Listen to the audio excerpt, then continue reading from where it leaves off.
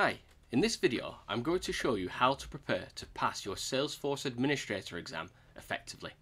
Using this method, I passed my admin exam on my very first attempt only 7 weeks after seeing my very first Salesforce org. Hello and welcome back. This is the first video in the how to prepare, study and pass your Salesforce Certified Administrator exam series and we're going to be focusing on the first step, preparing for the exam. This is a really important part in passing your exam and you need to plan to make sure you give yourself the best possible chance of passing your exam the first time. So it took me just over seven weeks to pass my admin exam and that was from the first time that I saw a Salesforce org. So if I open my profile on Trailhead and I just go to the prepare for your Salesforce administrator credential, you'll see that I first completed my first module on the 31st of March 2020. Now, if I head to my Webassessor account, you can see that I actually passed my exam on the 21st of May. So that is just seven weeks over. Now, you might be wondering why this shows as the 13th of April. Um, and the reason that this was done later, just again for full disclosure, was because, well, I didn't really know anything about Salesforce, so I didn't know if it was, you know, the area that I wanted to go into, the industry. Um, and once I actually saw what I could do here with the platform basics and I got a bit more of an idea of it, that was when I made the decision that Salesforce was definitely what I wanted to do. So I was able to pass my admin exam just over seven weeks because of a couple of key steps I took when I was preparing for it. So one is actually breaking the exam guide down so I knew what I needed to know. The second was actually collating the best resources to learn from. So we're going to cover those points in detail. So grab a drink, get comfortable, and let's get started. So the first point I want to cover is the exam guide, and specifically how we break that exam guide down to give us a blueprint, a, a, working syllabus that we need to work towards and work through to ensure that we're prepared best to pass the exam. So what we're going to do now is just head across to Trailhead and we're just going to head to the exam guide for the admin exam. And just to walk you through this, you can read through this at your own leisure, but a couple of key points I want to bring out is if we have a look at the about the exam section here, it tells us how many questions there are, it tells us the length of time we have to pass the exam, or to sit the exam I should say, and then it also gives us our passing score and then a couple of other bits and, and bobs there. What we also have here are the recommended training and references and this is something that I would make sure that you really have a look at and you really work your way through. For example, this Trailmix is going to be your number one go-to. You've got an extra trail here. You've got this practice test, which is going to be really useful.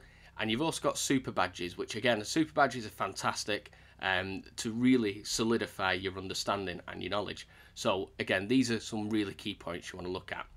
You also have some sponsored training here. So this will be training that Salesforce provide themselves. So you've got that if you want to go down that route. And then more importantly, we have this exam outline. And this is where I really want to focus on for a couple of minutes. So why do I want to focus on the exam outline? Well, within these sections here, which we'll open up, you have got objectives. And each of these objectives give you something clear that you need to know or that you need to understand. So as you can imagine, if you work your way through these and you spend time reading them and learning them and actually understanding what it's asking it for, you're actually going to get a blueprint of what you need to know. And the way that I used this to kind of structure my study was I, and I'll show you the spreadsheet here, is I built a spreadsheet and I had each objective and then each section here. And then all I did was copy the objective and then I'd pick out keywords. So, you know, describe the information found in the company settings, for example, company settings, fiscal year, business hours, currency management, default settings, I knew it was company settings that I was looking at. And again, as you go through these, you can look at given a scenario, identify the capabilities and implications of the sales process, and then we say sales process, opportunity, path, forecast impact. So I knew I needed to know about the opportunity sales stages, the forecasting, quotes, opportunity splits, orders, and contracts because they're all part of that process as well. So this really helped me when I was studying and I was really kind of getting into it. And as you probably saw from the overview, I also created this little spreadsheet here, this little summary. And all I did was put the number of questions I was going to be asked, the pass rate, and then I used a formula to work out what the well how many questions I needed to get right to pass. Then again, I also did the exact same for here, and I just used a bit of you know validation rule, well, not validation rules, they're Salesforce, but I used a bit of uh, you know data validation and and G Sheets to actually set this. And you know if there's enough interest in this spreadsheet, what I'll do is I'll put it together in a video, walk you through it, and do that for you. So again, you know if you want to see more about this spreadsheet, let me know, and I will do that. But anyway, back to the trailhead bit here. So as you'll see, this gives us everything that we need to know. Now, once we know everything that we need to know, we then need to go and get the resources to help us actually study it. So we need to go and collect all that information that we can then refer to to learn. And this is what we're going to do next, is just walk through the best resources. Before we dive into resources, I want to talk about learning preferences first. It's important that you use material that matches how you learn, otherwise, you're not studying effectively and you're wasting your time. It's generally accepted that there are three main types of learning styles you have visual, auditory, and kinesthetic, although recently there are people who are calling for reading to be a style in its own. So let's talk through these styles. Well, first, we have visual, so visual just means you learn better when you watch YouTube videos or you watch someone carry out the task. Auditory means you learn better when you listen to perhaps lectures about it or you listen to audiobooks or podcasts. Third, there's kinesthetic, which means you learn better through actually being hands on and doing what it is that you're trying to learn. And then fourth, we have reading, which is well, learning by reading. So when you read documentation or you read step by step guide or even articles, that's how you learn best. Now, you might already know your preferred learning style, but if not, there's loads of tests online that you can use to, to, to determine your preferred learning style, which I would recommend doing so. Doing this will give you an idea of how you learn best, and then you can tailor your material to match it.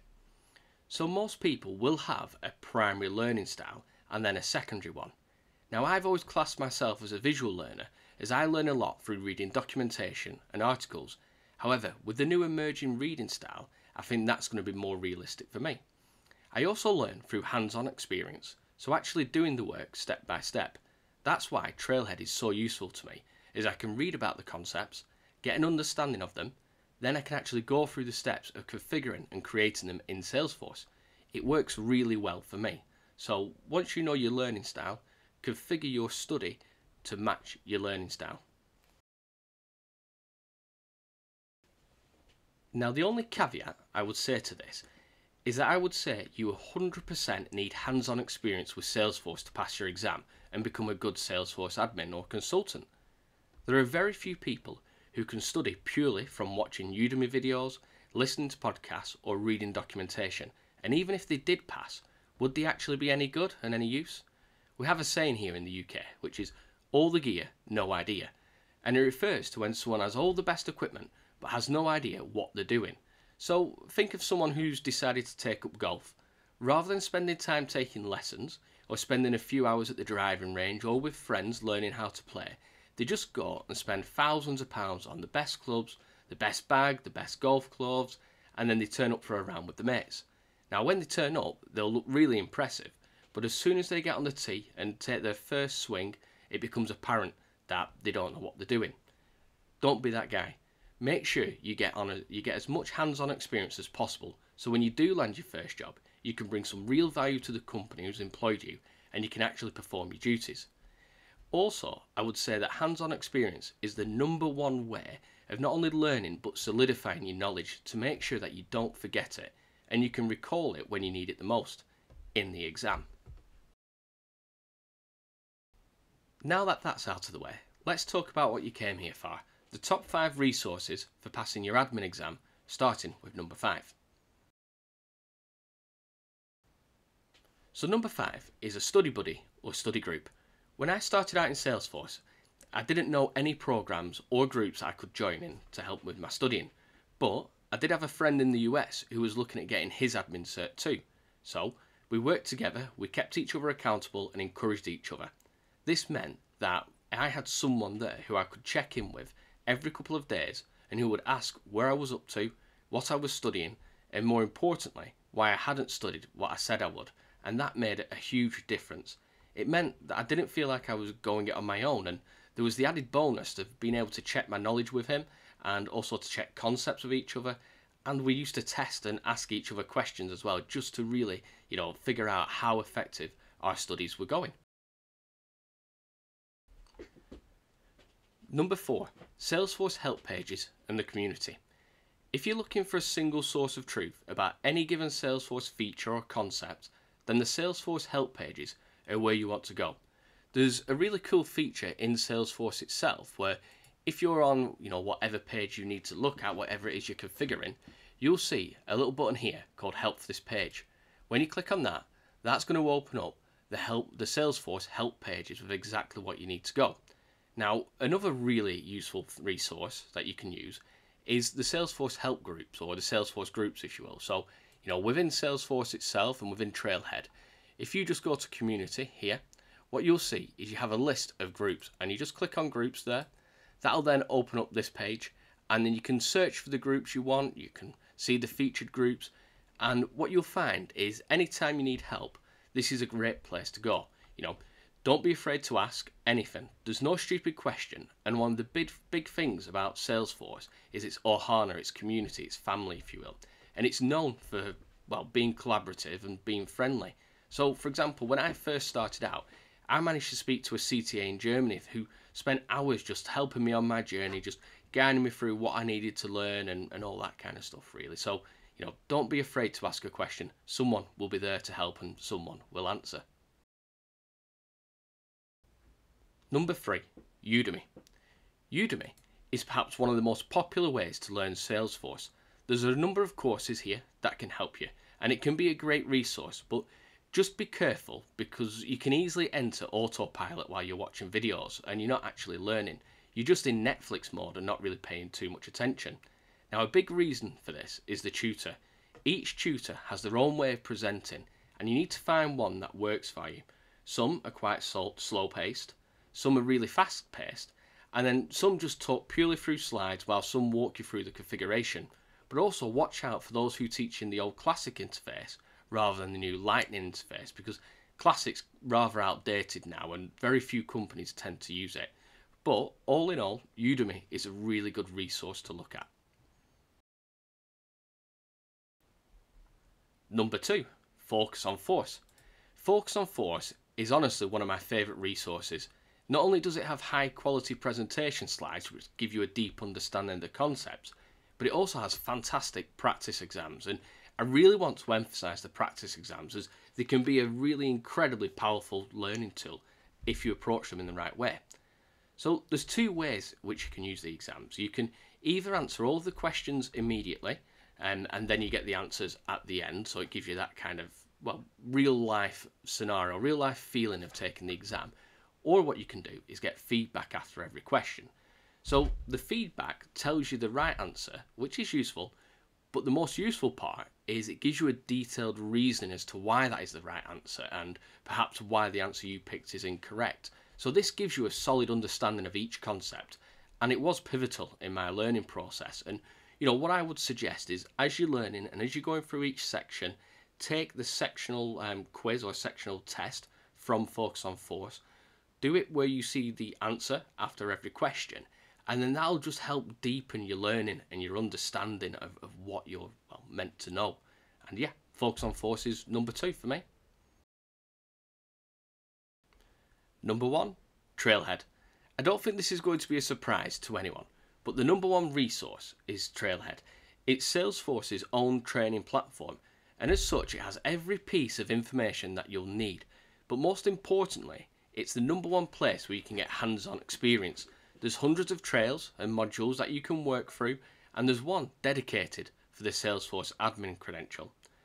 This is where you will practice what you're learning. You can spin up as many free playgrounds as you want, and playgrounds are just sample orgs, almost dev orgs that you could play around in, so they're risk free. You can spin up as many of these as you want, and they're completely free as well, so you can really practice and get to grips with everything. Trailhead should be your starting point when you study. Even now, I use Trailhead when studying for new certifications, and I know pretty much every single Salesforce professional use Trailhead to keep up to date and keep their knowledge and skills well, tuned up. Well, that's it. I hope this video has been useful. Uh, if it has, don't forget to like and subscribe. It tells YouTube that you found it useful, so it's going to show it to other people who are looking for the same kind of information. And don't forget to head to my website where you can get a free guide on how to pass your admin exam. So, thank you for watching. If you have any questions, please feel free to reach out and see you soon.